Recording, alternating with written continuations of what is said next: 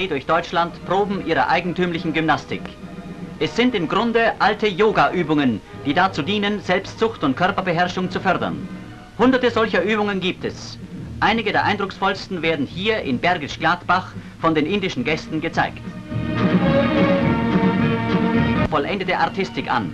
So etwa dieses Turnen an einem glatt geölten, drei Meter hohen Pfahl.